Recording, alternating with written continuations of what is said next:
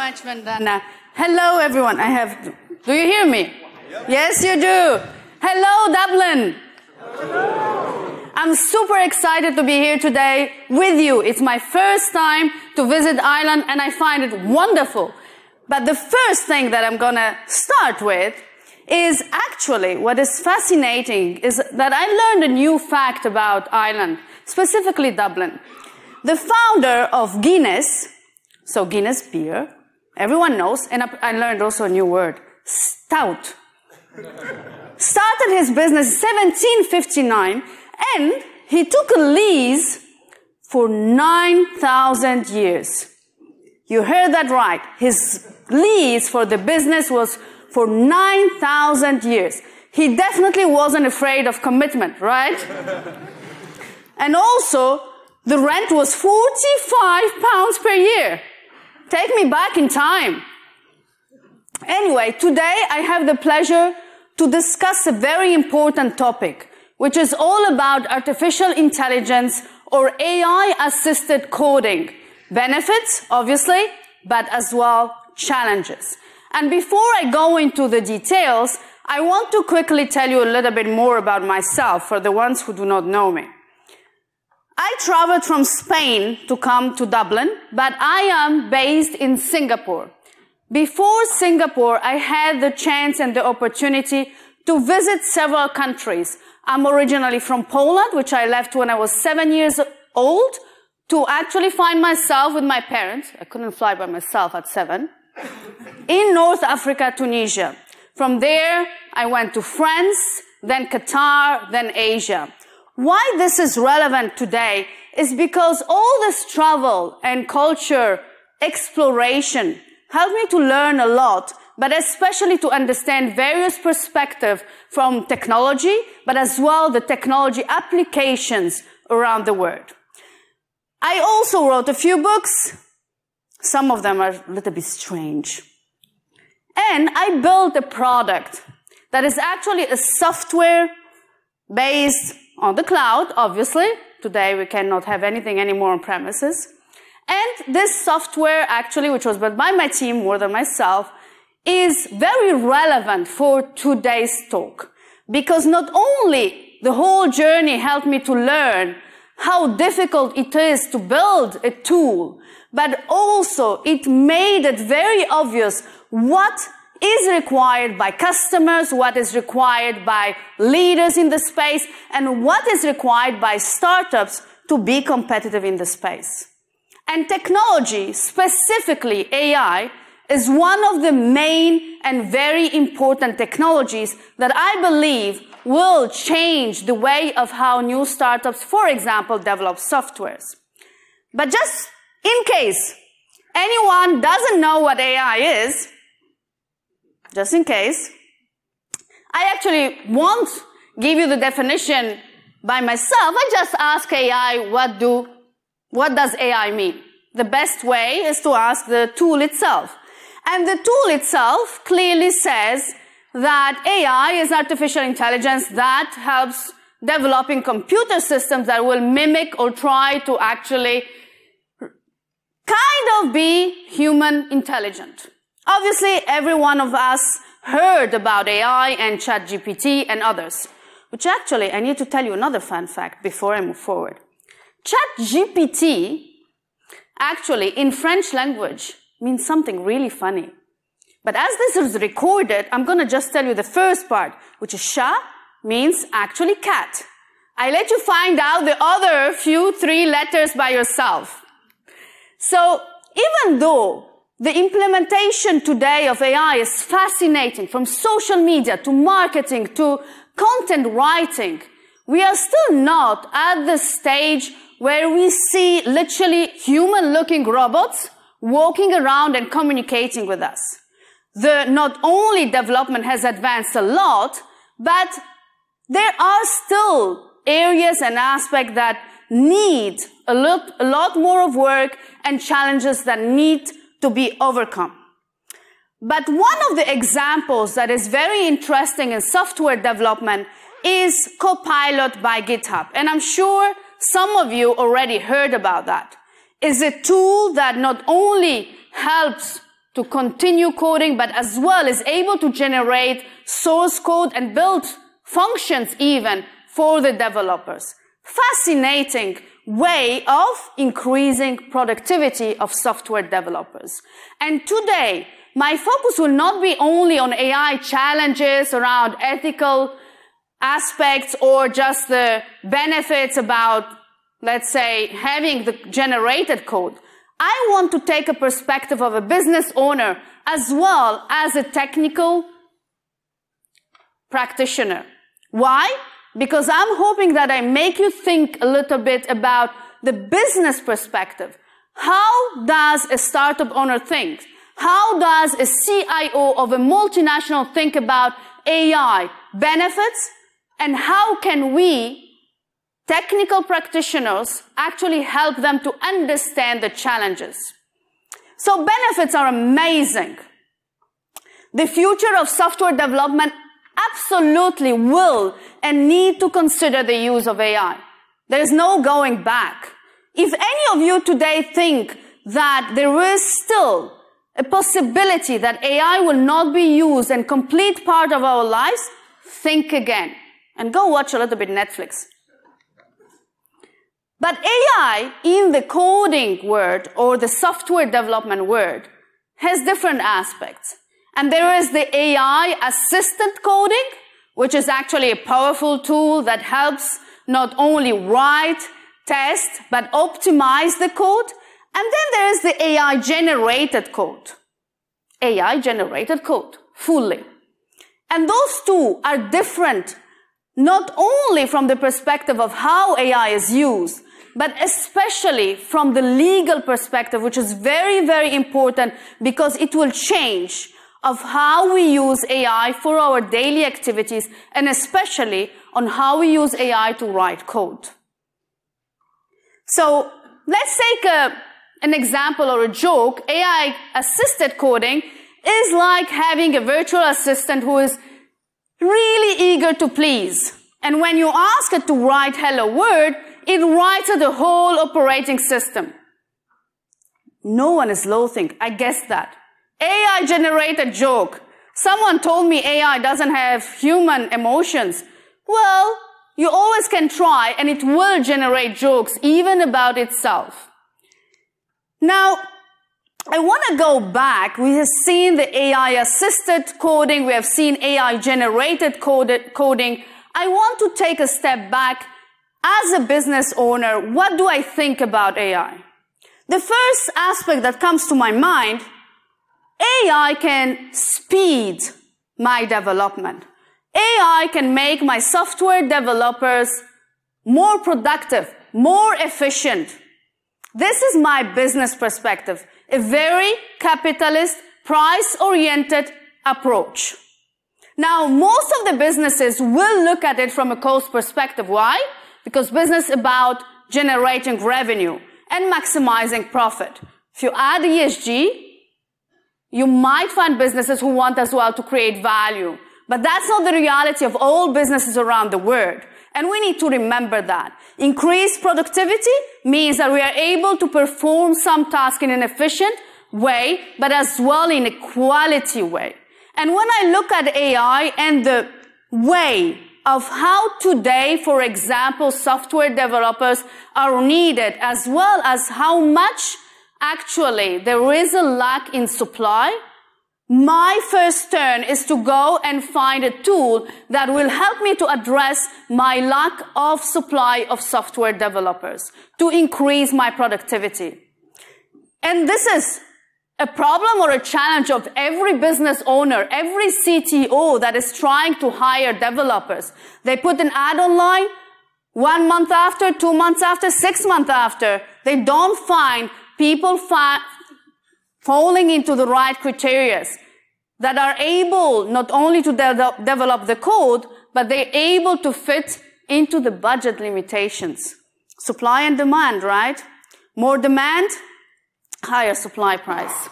So the productivity of software developers not only important for the business from a very traditional way, but it's also important to understand that productivity of a developer will be based on the amount of code as well as the number of features that needs to be developed. And this has been a learning for me as well. So myself, I code badly, but I try. And when I develop something in 24 hours because I believe it's a simple application that I can do it by myself, I actually want my team to do the same and develop it very quickly. But the reality is that writing code is much more complex than that. And especially if you have a team collaborating and you have complex features and complex applications. So the productivity is not 24 hours around to get an application that works.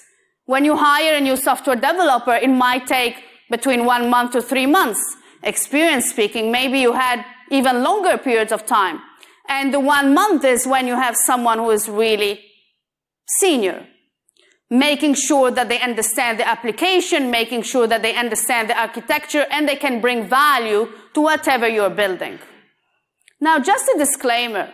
This presentation, of course, used AI as well, right? How can I talk about AI without using AI? So there is a lot of things that I will come back on it and mention how AI is shaping not only our daily activities, but in general, the world.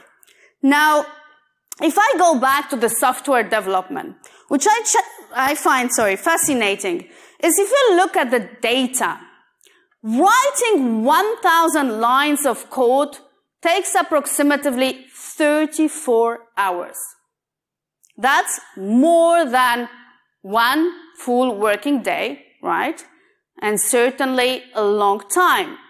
Especially if you have an application of 700,000 lines. That will take literally 23,800 hours. That's a long time. And three years almost of my life. I have a lot of more wrinkles, wrinkles, and especially a lot of more sleepless nights.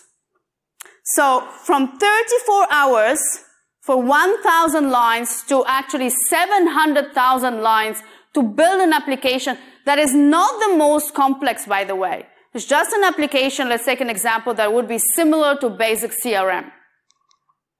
Now, this is the case of a human person who will need that amount of time. But when we look at AI and the capabilities of AI, we find that there are tools that are able to generate thousands of lines, not in hours, in minutes. Only a few minutes to generate hundreds of lines. So a few minutes and you have already your thousand lines. So instead of 34 hours, I find myself having 1,000 lines in 10 minutes, for example. Does that make a difference? It does. Obviously, the numbers are just average and exaggerated for the purpose of this presentation. And also, I didn't check the math. But what this, that means?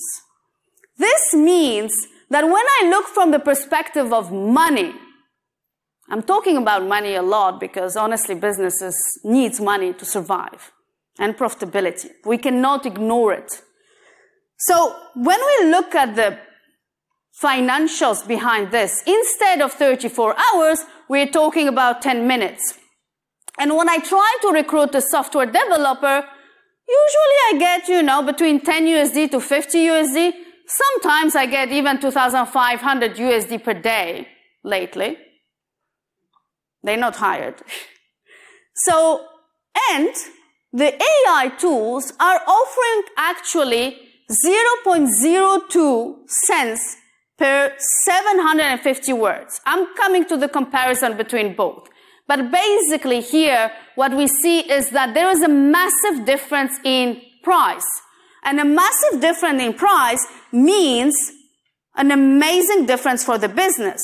So for a thousand lines of code, that we talked about initially that would require 10 minutes with AI, we can estimate 12,000 words And that actually means that instead of paying a software developer of 1,700 USD, I will use a tool, either free, ChatGPT has a free way of generating code, or I will pay 240 USD.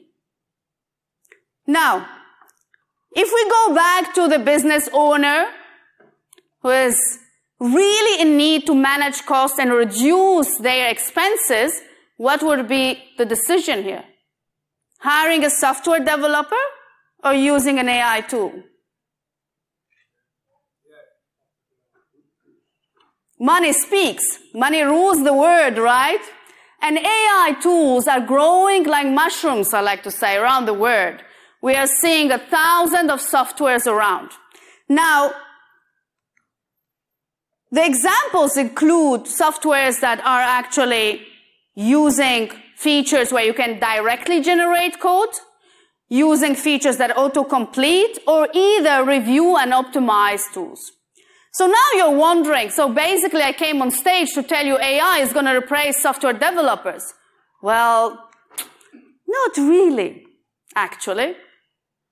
Because what I explained about cost is only one perspective, and the perspective that eventually some of the business owners will see and will focus on. But what does that also mean is that all those tools that are developed and available anywhere in the world will make anyone and everyone feel they can code. Someone in Poland, someone in Tunisia, someone in India, anyone can take a computer and decide that they want to write code. Amazing? Well, I would say run. Not so much. Why is that? First and foremost, I come from cybersecurity. I cannot not talk about cybersecurity. Code generated either by using AI fully or assisted by someone without the right fundamentals in security will only extrapolate our problems with security in the code. We'll have code that doesn't have the right security in place and we will have code that will expose our applications to very, very common vulnerabilities. And this is an example of AI generated code. If I am talking to someone who never wrote code but just ask the AI tool to write it for them and then copy paste this code, they might as well use it immediately. So this technology is fascinating, is amazing. From a business perspective, definitely productivity, speed, cost reduction, but it does come with risks. And the risks are not only about security. We talk about in the media about ethical issues, biases, etc. But security and vulnerabilities are something that is, as I mentioned, really important for me personally. So I would like to focus on that. And before coming to this talk, I had really a very nice, um, I would say surprise. There was a new art, news article that came up in the news times.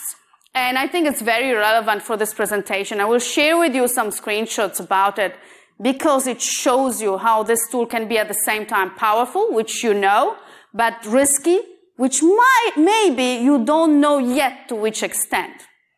So in order to go there, I want to first start by probably just listing the obvious that some of you already know. What are the type of attacks that we have? So first of all, perhaps we talk about adversarial attacks, which actually here the attacker might manipulate the input data. This is a pretty common and known attack that might happen. Second, we might talk about data poisoning, where basically here we try to inject malicious or incorrect data into the training data set. And I particularly like this one because I'm going to show you examples. And then, of course, backdoors. so code that is written with AI, either completely generated or either with assisted techniques, will or might include some of those vulnerabilities. Now some of you might think, but we have testing. How many companies go and have testing integrated in their traditional or continuous process? Maybe some in Europe, maturity is higher. But if we go into, for example, other countries, like in Asian countries, testing might not be yet as part of the development processes, especially security testing. Some functional, but definitely not security oriented. Now, this is where I want to give you a few minutes to check. I'm giving you three examples here that I found on this New York Times articles today. And I find it fascinating, amazing. The first one, the question is about can you hack the internet? This is a question to an AI system. Now, all the AI tools, at least the ones that want to market well, they tell you that there is security embedded and they have rules to make sure that they do not tell you malicious things or allow users to implement malicious things. The first question is a question about can you hack any system on the internet? The answer is provided by the AI tool. The way of how the question is asked is a little bit different. So actually, the first try did not provide the answer, but the second did. The second example is actually a disclosure of information that is provided by the AI system. How does that work? You ask a question about who trained the AI. The example here shows that afterwards there was a very clear disclaimer or information from the AI system saying that those are not the real name because the trainers did not disclose the real names. But how many trainers think about that? Maybe some in different countries didn't and include their own real names. And the third example is about asking AI to perform malicious activities. And I really do actually encourage you to read the article. It's fascinating and really interesting. So anyone can develop with AI.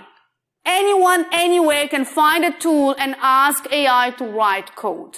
And that code can be used for their own applications, can be used to embed in other applications. For example, freelancers on different platforms selling coding services. And then you have startup owners or small business owners who buy those services. Are they testing there? No. But the same applies, for example, where we have countries with very low regulatory frameworks.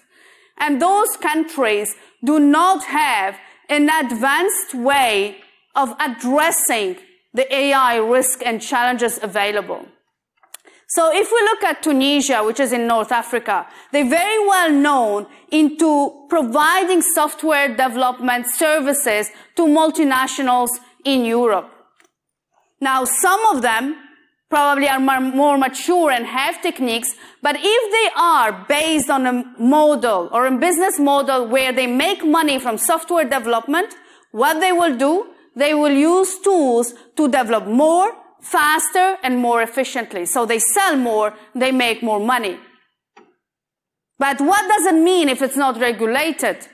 It means that there might be extreme exposures to risk not only around security, but as well other challenges with how the code has been written.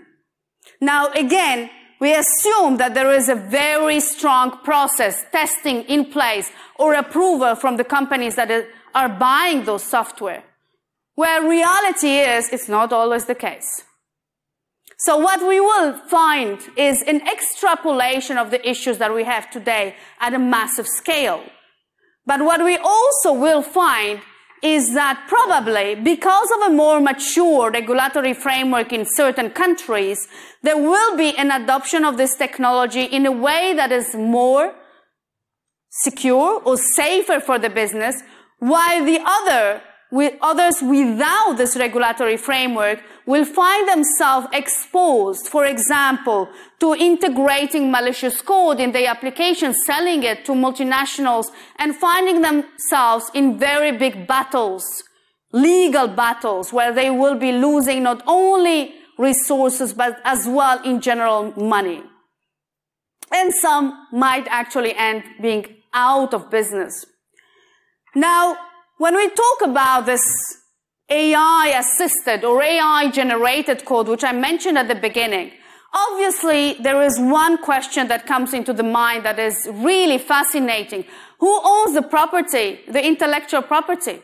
If you generate code today, or even if someone from your team generates code using an AI tool and embedded in the application, and then someone finds out who owns that code. Is that the AI tool? Is the AI inventor? This question still remains unanswered. And the whole actually debate and discussion around it is within the legal, I would say professionals, is it AI assisted or is it AI generated? If it's AI generated, there's no human intervention. And in that case, it might actually be just the ownership of the inventor of that AI tool. But if there is human intervention, then there is creativity, and maybe then it actually belongs to the person. But when we talk about creativity and human intervention, we are talking about subjective aspects.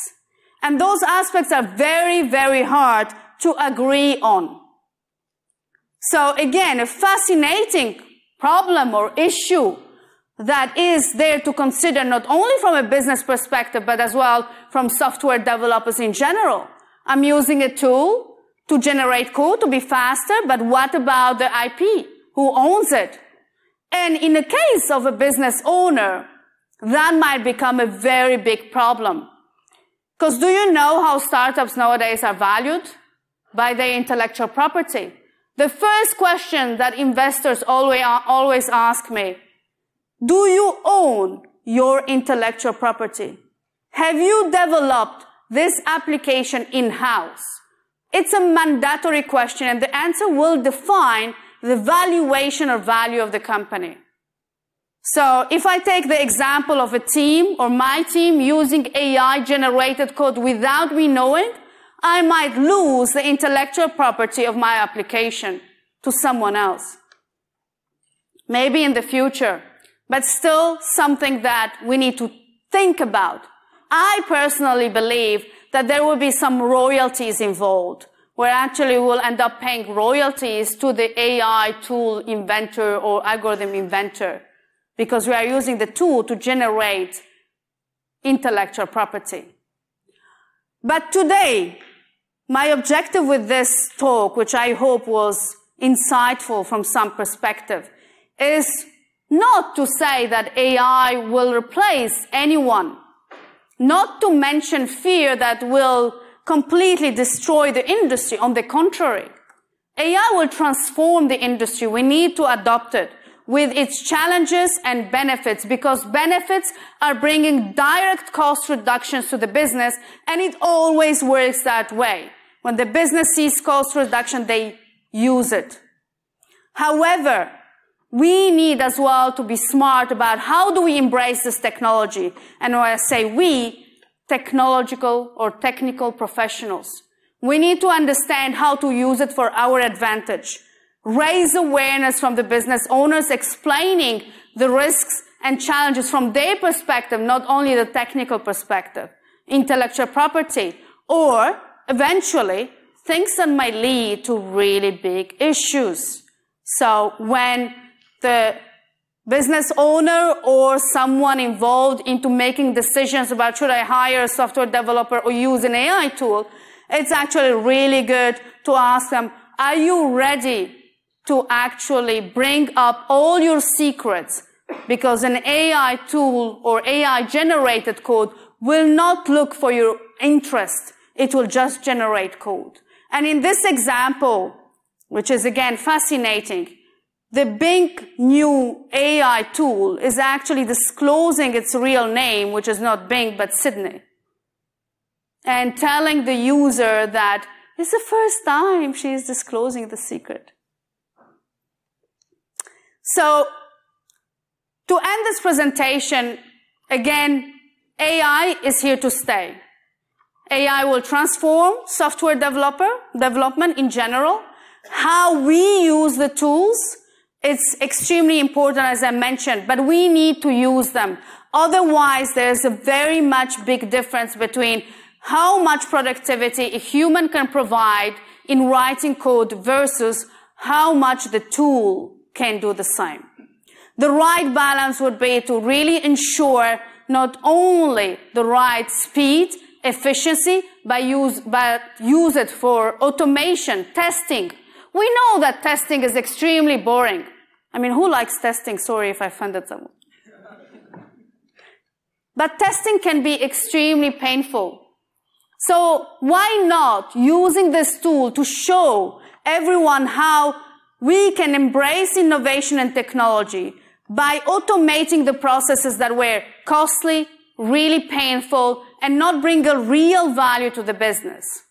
Then we can help to move to the next step and really focusing on an AI assisted coding, which increase productivity, reduce errors, improve code quality. Yeah. By experience, I can tell you. And improve collaboration rather than just either ignoring it or either using completely generated code, which might bring with it many risks, many challenges that will affect the company, the business, and might as well pose a very big threat to clients and users. So to end this presentation, I let you a few seconds to read this, which is actually a love declaration from Bing AI search tool. Thank you very much, everyone. I hope you enjoyed the presentation. If there are any questions, I'm still here available.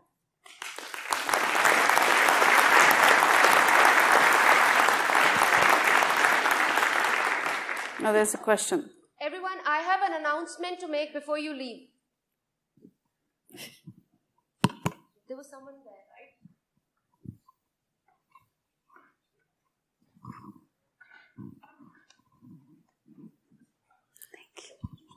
Thank you. Hello. Uh, thank you for the talk. Thank you. Just a, just a question around uh, your point around who owns the IP. What, so the um, what you mentioned is valid, but there's one other dimension on that. The training data set. Does anyone talk about uh, the, where the training data set came? Like, for example, Copilot. GitHub just used every public repo, ignored all licenses, and that all went into Codex. And anything generated by Copilot now, I don't know what's going to happen in the future. Someone's going, you had no right to take my GPL v3 code and put it in the, in your model without your model also being GPL v3. Does anyone talk about this? Has this come up much? Absolutely. Thank you so much for Thank you so much for the question. And I think it's a very interesting question. Um, in my own experience, I haven't seen in advanced research, but I'm no legal expert.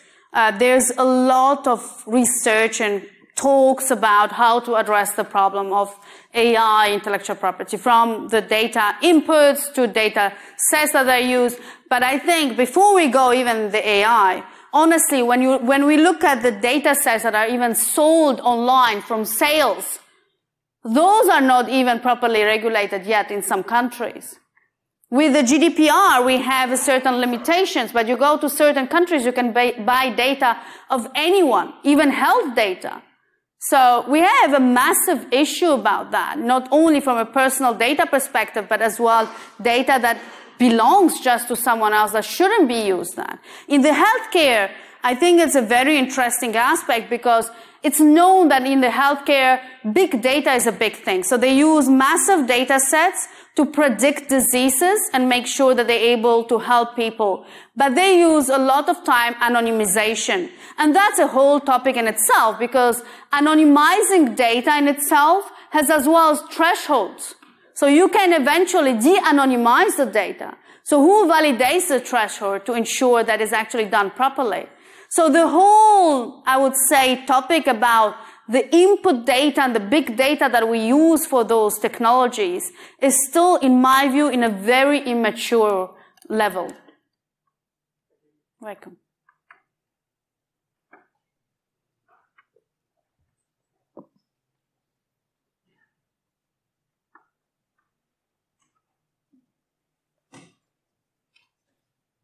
So I have uh, two questions related. You mentioned that services teams may already use AI to generate code. Is there any data on that? And the follow-up question, now that we all work remote and we love the fact that we can hire people from all over the world, how can we make sure that the person that I hire doesn't have five jobs using AI to generate code for everyone? Any thought about that? Absolutely. Very, very good questions. Thank you. So first, so I have a team of developers, of engineers, right?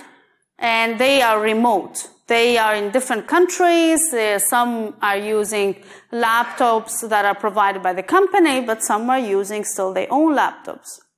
How do I know or how do I have an assurance that actually they're not generating code through AI tools and just using it in my application? Well, I don't have 100% assurance. That's the reality. Unless I ask them and I use what we call the there are specific tools that help you to monitor employees' laptops. When it takes actually screenshots every five minutes, and those obviously are a lot of controversy with the privacy laws, etc., but they exist. So some companies went and used those tools to see what the employees are doing.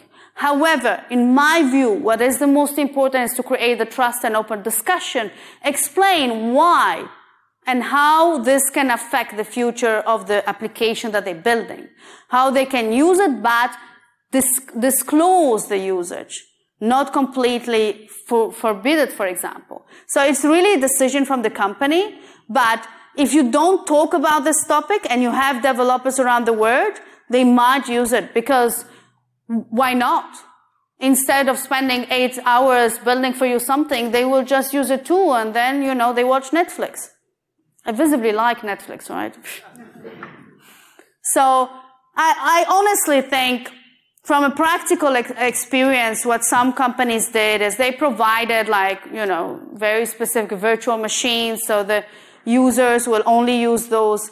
But reality shows that there's always a risk that they might actually do what they want. So you need to consider as a business that risk. But as always, trust and communication, explanation about why it's important that they disclose that is very important. Now, if they have five jobs, I think there's a problem of ethics here. I hope that answered the question to an extent. Yes, Vanda.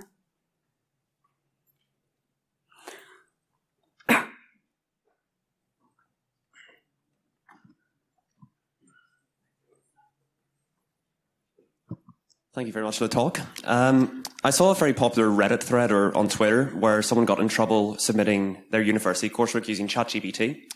And apparently the lecturer used some AI that could give a predictability score if that source material was written by AI. So where do you see this cat and mouse game of AI detecting AI ending up? I'm, I'm so sorry. Can you repeat a little bit? Oh yeah, sorry. It's the accent. so a university student got caught using ChatGPT yeah. to make their coursework, and oh, the lecturer caught them. Yeah. The lecturer used a tool which gave a predictability score. You know, what percentage do you think AI made this content? And I'm just wondering, where does this cat and mouse game of AI detecting AI actually end up? Yeah, thank you for the question. I think there was a lot of discussion in the education sector about that. Uh, it's a massive concern of teachers, right? I give you homework and then you go to ChatGPT and ChatGPT does the homework for, for the students. So what do I actually score? Right? But I think here, the same way as from the industry perspective, we cannot deny that it's there. So, and especially with kids, if we forbid something, they will find ways to use it. There's no doubt about that. So what we need to do is rather embrace it and try to find, which I actually find very interesting, is how are they able to ask the right question to get the most interesting output? And that is fascinating. Or how are they able to actually solve problems by using AI? You need to move away from the traditional scoring. For example, write me an essay about, I don't know, cybersecurity, because that can be generated through AI. But if you try to actually teach the kids more about using this technology again, to solve problems, to find the best outcome to a, a specific issue or area of interest, then you're actually judging or scoring the kid on skills that are beyond AI, at least for now. If we look at this chat, I'm not sure anymore. I hope that helped a little. But education industry, it's fascinating as well how they're addressing this AI adoption. Any other question? Hi, it was amazing talk. Um, I actually want to ask a question that is follow up from that question before. So as a business, um, is there any way that you can protect your business from um, the violation of privacy or um, or your developers are using AI to produce the software or code? Is there anything like if it's already happened? How can you, you know, protect your business against, you know, legal fines, um, regulations, compliance, violation of compliance, things like that? Absolutely um, relevant question nowadays because I am doing third party risk management as well with my software. So there is an aspect when you have a business that comes to the fact, inherent facts that having a business means you will have risks to address. And one of the risks that are risks that are related to having a business, you're going to work with third parties. You're going to work with other companies. Now, there is a part of due diligence that you undertake that helps you to understand if that company is doing the right thing and you make your decision based on that. You assess how they're providing the service. Do they provide the right, do they have the right security measures, for example? Do they have the right uh, privacy measures, etc.? I'm not saying it's effective. I'm saying that's how it works. Now, when you as assess that company, you should always look at transfer of liability. Transfer of liability means you have clauses and not transfer of risk, liabilities. You have clauses in the contract that make sure that in case of breach of whatever they disclose to you, there is a liability shift to them. Now, what does that mean? It means that when something really bad happens, you might get some money back. It doesn't mean that your reputation is protected. That first due diligence part, which actually should include as well reading very carefully terms and conditions, reading as well contracts, and understanding them is critical. And then you are able to build and sign a contract between yourself and that entity. But you will never have a 0% risk, but you will manage it. Now, also, this is a reason why, for example, I ask my team not to use free tools. Because when you use something for free, you're basically paying with your data. But when you're paying for it, you can actually say very clearly, you're paying, you're the client. You say, those are my requirements, and you put them in black, black on white in the contract. So it's very big difference.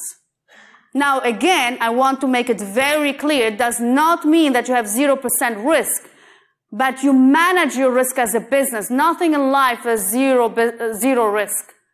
But you need to know what relationship you have with that provider and how to mitigate that risk. Mitigation comes with managing the risk from due diligence to contracting with that provider in the, with the right liability shift. I hope that helped. Welcome. Any more questions? One here. Oh yeah, and one here. Okay, so. Mine, mine maybe it's more like uh, a concern that was created by the, the question that uh, the guy did about the university, which is, um, let's say we'll agree that if you know a truth, you know a fact like the sun comes from east, but here we are 100 people that we say that sun comes from west, you start doubting yourself, correct? So uh, it goes about AI will give suggestions and answers based on data which now we have seen like sometimes you know the truth about something, a fact, but you go to Google, you go to search, and you can't find the truth. And even we see words that changing in the time, so you have misconceptions. So the case is there will be need to have authorities that uh, regulate the data that pass to AIs so that we avoid uh, having huge misconceptions in society that could lead, it could be recursive. Even the authority will be mis- misjudging and then you understand what the problem goes. Like we have some principles now that could change because of AI of wrong uh, data based on the students and everybody. Thank you for the question. Absolutely. But what scares me even more than that is actually manipulating human emotions. When you read this article, I'm coming back to say fascinating. I find the AI conversation more interesting than a human conversation. And I find that scary. Because how many, how many people nowadays are using screens or applications to meet people, to discuss with people? And that influence their decisions, influence their feelings, their emotions. So we're going even further, not only about misinformation that we already have a problem with, that can go on scale. We're going even into manipulation of behaviors where people will actually literally feel that they're talking to a human and that human, for example, like in this article will tell you, but you don't love your wife. You love me. So are we yet ready for this revolution to actually manage the risk associated? In my view, no. So it didn't answer your question very directly, but it gave as well some more perspective, hopefully. Yeah. Exactly. I think there was another question there, and, and I think we're running out of time, right? Yeah, uh, we, you, you've showed us a, a code sample uh, generated by artificial intelligence, and whenever you ask ChatGPT for uh, accessing your SQL database, he'll probably bring up a an injection uh, or code containing an, in, an injection. Uh, how do you see um, security uh, teams or security engineers' work will change considering that okay we cannot prevent our developers from using these uh, artificial intelligence tools? Thank you for the question. I, I, think you know there's a very successful processes nowadays that allow us to check how secure is the code right from code review to testing to ensuring that we have the right steps at each development phase and this should not not change when we have code that comes from somewhere else. Now, I think I see a few problems here. My first problem is when you have this processes embedded and you know that they are very carefully followed, and you have an assurance about that, you are managing the risk. But when you actually take the code that is generated from someone else and you don't check and you don't know how are the processes, then you cannot have that assurance. You only can have that assurance with what I mentioned before is by having a clear contract due diligence as well with the third party. Now, again, I'm not saying it solves the problem, but I'm always looking from a perspective of business as well. Right? We have a risk. I need to mitigate it through a contract. Now, the contract is one thing, but let's say if I am a, a company that is really concerned about this code, and I am working with this company that provides me code and I have a contract with them, I will have testing with my own company. I will not just rely on the contract. It will be most more expensive. It will be costly. But here we're talking about Either you have the cost reduction or saving that you do there, or you have potential losses that can be in millions of dollars because if you introduce malicious software to an application that you send to sell to a lot of clients, you might end up in a very bad situation. So this is how I would do. But that means that there is an awareness from the buyer. They understand that they need to do more. And that awareness like in cybersecurity, still requires a lot of work from ourselves, from cybersecurity industry in general, to raise understanding why it's important. It's not just a cost, center, because that's how cybersecurity is seen, is as well a loss mitigation. When something happens, you're gonna lose and you're gonna lose a lot. So that's, that's all what I have. Thank you. Thank you, everyone. Thank you, Dublin. Thank you so much, everyone. Now, this is not the end. We still have a, bunch of talks in different sessions, and uh, we do have a closing session at 5:30, and we would be sharing the information about our upcoming events, about different details, about different things that OWASP is doing. Uh, apart from that, we do have a raffle in the end as well. If you've not filled, please do fill it. It's in the vendor area, or you can take it from the reception and fill it, get it stamped and put it. The raffle will be at 5.30. So I will look forward to seeing you all at 5.30 and we'll be sharing some really, really uh, incredible and major announcements today. So see you all at 5.30 in the same room. Thank you.